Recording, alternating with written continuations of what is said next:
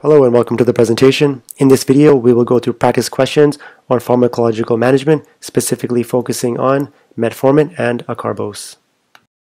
If you haven't done yet, please subscribe and also follow us on Twitter and Facebook for updates, tips, and practice questions. Alright, question number one. RT, a 52-year-old male, has been recently diagnosed with type 2 diabetes. His doctor prescribed him metformin 500 milligram three times a day. His current A1C is 7.8%. All of the following are true in regards to metformin except so A, maximum dose is 2,550 milligrams per day. It can be safely used if the EGFR is less than 30 mils per minute. Avoid use in hepatic failure. And finally, may be used as an alternative to insulin during pregnancy. Choose your answer and let's go to the next slide. Okay, so let's go through each answer. So for the first one, A, maximum dose is 2,550 milligrams per day. That is correct. Uh, with metformin, generally, you want to start out on a low dose and titrate up slowly. For example, a person may start out with 500 milligrams twice a day or three times a day, and the dose will be titrated up slowly in small increments up to the desired dose. Again, this will vary depending on the patient and also the prescriber. We generally want to titrate up slowly. This will allow the body to get used to the medication as well as minimize the side effects, especially the stomach related side effects such as the diarrhea. The next one is uh, incorrect. So we do not want to use metformin if the EGFR is less than 30 mils per minute. Uh, in this situation, you want to use an alternative agent. If the EGFR is above 30, metformin can be used. Um, again, dose adjustments may be needed. For example, if the GFR is 30 to 44 milliliters per minute, a dose adjustment may be needed. Uh, and this the dose adjustment will uh, vary depending on the person's stage of renal failure. The next one is avoid use in hepatic failure. That is correct. Yes, because in, uh, metformin also has this mechanism within the liver and with hepatic failure, this can also have the risk of lactic acidosis. Finally, may be used as an alternative to insulin during pregnancy. Yes, that is true. So, with metformin in gestational diabetes, generally insulin uh, can be used as a first line uh, therapy. If it's not tolerated, for example, metformin can be used as an alternative to insulin. Again, the woman should be uh, told that it can also cross the placenta although the uh, the woman may be on metformin, uh, many times insulin may still be needed to help adequately control the blood glucose levels. Question number two. All of the following are true in regards to metformin except A. It is weight neutral, has a low risk of hypoglycemia, enhances insulin release from the pancreas, and finally, first line for many people with type 2 diabetes. Choose your answer and let's go to the next slide. Okay, so let's go through each answer. So for A, metformin is classed as weight neutral. That is correct. It has a low risk of hypoglycemia. The risk of hypoglycemia is quite rare with metformin. It does not, its mechanism doesn't involve releasing insulin from the pancreas like the sulfonylureas or meglitinides. The risk of hypoglycemia may be present when metformin is used alongside another drug that has the risk of hypoglycemia, such as a sulfonylurea, a meglitinide, or even insulin. The next one enhances insulin release from the pancreas. That is incorrect. This is the mechanism uh, for the sulfonylureas and also meglitinides. Metformin's uh, mechanism involves the enhancement of insulin sensitivity uh, within the tissues. So, for example, in the muscle tissue, it helps the body to better respond to the insulin in the body so that the tissue can uptake and utilize the glucose. It also helps to enhance insulin sensitivity in the liver and helps to decrease the hepatic glucose production or helps to decrease the gluconeogenesis. Furthermore, the other mechanism also involves decreasing the amount of glucose absorbed from the intestine. And finally, first line for many people with type 2 diabetes, that is correct. Generally, metformin is it's safe uh, it's a low cost. It has a few side effects. The main side effects that tend to be bothersome are the uh, uh, stomach related side effects. And it also has some possible heart benefits. Question number three Which vitamin may become depleted with metformin use? A. Vitamin B6, vitamin B12, B9 or folic acid. Finally, vitamin D. Take a second and choose your answer. So the answer here is vitamin B12. Let's go to the next slide and discuss this in a little bit more detail. Alright, so let's go through a simplistic diagram of how metformin affects uh, B12 absorption. So here we have the small intestine here, and more specifically the ileum. So here we have a close-up of an ileal cell, and this is where B12 absorption occurs in the ileum.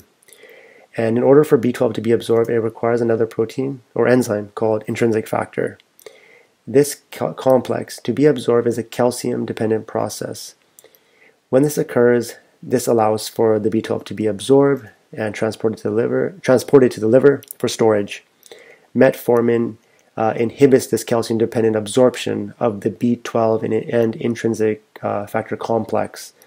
And when this occurs, this uh, reduces the B12 from being absorbed, and in turn, this will affect the B12 levels. Many times when people are on metformin, they may require uh, B12 uh, supplementation as well. Question number four. A patient with a vitamin B12 deficiency may present with which of the following symptoms? A. Pins and needles, fatigue, pale skin, or all of the above. Take a moment and choose your answer. All right, so the answer here is D, all of the above. With vitamin B12, it plays a crucial role for normal nerve functioning. It plays a key role with neurotransmitter synthesis. If there's any deficiency in B12, this will affect our nerves, leading to pins and needles, numbness or tingling, muscle weakness, and inadequate levels of uh, B12 can also affect our red blood cells, and this in turn can impair our oxygen delivery to the uh, to the body, leading to tiredness, fatigue. It can also give rise to pale skin as well. Question number five. Ty is on metformin and his doctor recently started him on acarbose. Which of the following points is true in regards to acarbose? A. He is at more risk for hypoglycemia with this new agent. To treat hypoglycemic event, table sugar, sucrose, can be used. C. It, it enhances insulin secretion. Finally, D. It delays the digestion of ingested carbohydrates by inhibiting, inhibiting alpha glucosidase enzyme. Take a moment and choose your answer. So for the first one, A, he has at more risk of hypoglycemia with this new agent. That's incorrect. B, to treat a hypoglycemic event, table sugar can be used. That is also incorrect. We will discuss this in the coming slide. It enhances insulin secretion. Uh, no, that's incorrect as well. Its mechanism is different. That's uh, shown in the next answer, which is D. It's an alpha glucosidase enzyme inhibitor. Let's go to the next slide and we'll discuss each option in a little bit more detail. Alright, so let's go through each option. So for A, the risk of hypoglycemia. The risk of hypoglycemia is quite negligible with a acarbose. It doesn't, it's, with this mechanism, it doesn't involve uh, causing the pancreas to release insulin, unlike the sulfonylureas or the meglitinides, which they have the risk of hypoglycemia. For B, the treating a hypoglycemic event using table sugar or sucrose, we need to remember that the mechanism behind acarbose is that it inhibits an enzyme, and that's the alpha glucosidase enzyme. This enzyme plays a key role in breaking apart disaccharide, disaccharides. So, for example, uh, sucrose, uh, maltose, and remember what's with sucrose? It's a glucose molecule bonded to a fructose molecule. In order for the glucose to be released, it needs that bond needs to be cleaved and that is done by the glucosase enzyme. But when acarbose is inhibiting this enzyme, the glucose enzyme cannot be released, therefore it cannot be absorbed from the gut. So that's the mechanism behind it. So we wouldn't use sucrose uh, in a person on acarbose. Uh, in this situation, to treat a hypoglycemic event, the alternatives would be, for example, using milk, honey, or also using dextrose tablets. So this is uh, very important to know, and we'll discuss this in a little bit uh, a little bit further in the coming slide. If a person was not on acarbose, then yes, sugar sucrose can be used as an option.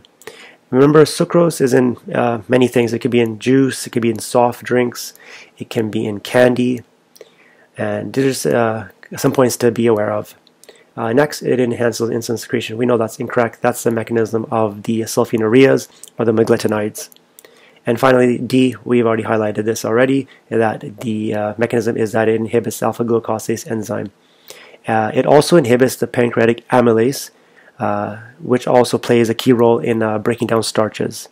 Let's go to the next slide and uh, see if we can uh, shed some more light on this. So here we're going to go through just the how carbohydrates are broken down or digested, a simplistic diagram. So here we have long chain carbohydrate or polysaccharide. An example would be something like starch, which is a long chain of sugar molecules.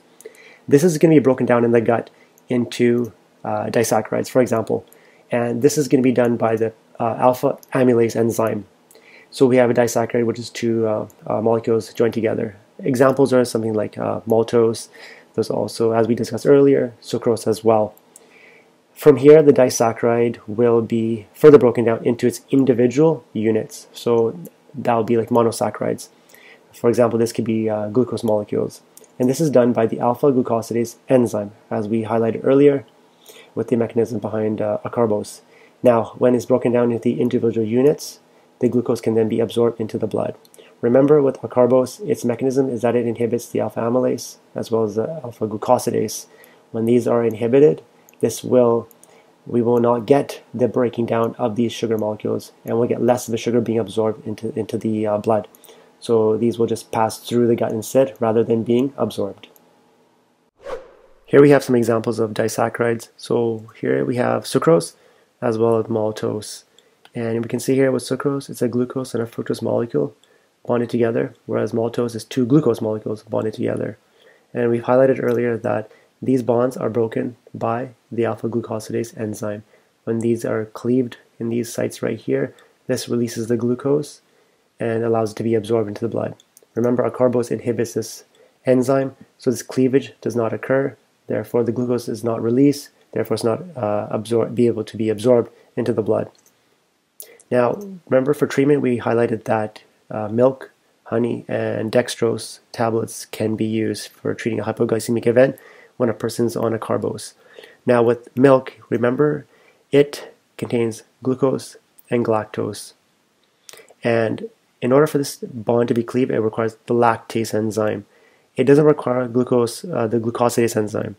And acarbose does not inhibit the lactase enzyme. Therefore, if someone takes milk or drinks milk, then this bond can still be cleaved and the glucose can be released into glucose and galactose, and the glucose can then be absorbed into the blood. Furthermore, with honey, it contains glucose and also fructose, but they're not bound together. They're separate uh, individual monosaccharides, so the glucose can still be absorbed into the blood. So here we have a summary slide of acarbose and the mechanism behind it. This is a simplified diagram. Some details have been left out. This is just to help in understanding. So we have the intestinal lumen here, the enterocyte brush border, the blood vessel, and we have a glucose transporter. So we know with carbohydrates, such as starch, sucrose, and maltose, the end product when they're broken down is glucose. And the enzymes involved are the alpha glucosidase and as well as the alpha amylase enzyme. And from there, the glucose can then be absorbed into the blood. When we're treating a hypoglycemic event in a person on a acarbose, we want to use specific uh, treatments. So that can involve using milk, as we highlighted earlier, which contains glucose and galactose bonded together. And this bond is broken by the lactase enzyme. This will then release glucose, which can then be absorbed. Remember, a acarbose does not inhibit the lactase enzyme. It only inhibits these enzymes right here. And for this reason, milk can be used uh, in treating a hypoglycemic event. Next is that we have honey and the dextrose tablets, which is just glucose. And remember with honey, it has glucose and fructose as separate entities, so there's no bond to be broken here. The glucose can just be absorbed. And we already know acarbose mechanism, it's inhibiting these enzymes. So by delaying the digestion of carbohydrates, acarbose helps to slow down the glucose absorption and can also help to reduce the postprandial blood glucose rise. So let's just summarize the key points about metformin. These are important to be familiar with. So generally metformin is one of the first choices to use in type 2 diabetes uh, unless contraindicated. Generally, it's the first choice because of its safety profile, its cost effectiveness, and possible heart benefits as well. It also has a low uh, side effect profile, but the stomach related side effects tend to be common, such as nausea and diarrhea, which can be, which can be bothersome for, for many people as well. So for this reason, we want to start low and titrate up slowly. This will allow the drug, the body to get used to the drug, and that could take uh, one to two weeks, for example. We have already highlighted the max dose is uh, 2,550 milligrams per day. And one of the benefits uh, is with metformin is that there's a low risk of hypoglycemia. Uh, it's also weight neutral. With uh, metformin, remember we have to be familiar with that it can cause B12 deficiency. So if a person came in complaining of numbness, tingling, we would need to, and they were on metformin as well, then we would need to uh, investigate this further. And also B12 supplementation may be needed. Metformin has also been shown to reduce uh, MI, or myocardial infarction, or heart attack in uh, patients that are overweight. We do, do not want to use uh, metformin in hepatic failure or in uh, where the EGFR is less than 30 mils per minute. It's important to know the SADMANS acronym for sick day management. Metformin is part of the SADMANS acronym. So during an illness, a person may need to withhold the, um, the metformin. Metformin may also need to be withheld uh, during uh, examination where a radio contrast dye is being used. Finally, uh, metformin uh, has the risk of lactic acidosis. It's rare, but it's, um, it's a serious metabolic complication, and that's why you do not want to use it, metformin in hepatic failure or renal failure. And furthermore, uh, excessive alcohol intake can also increase the risk of the lactic acidosis as well. Alright, that concludes the presentation. I hope you found this helpful. Don't forget to hit the subscribe button for more practice questions like this. And don't forget to follow us on social media. Again, thanks for watching.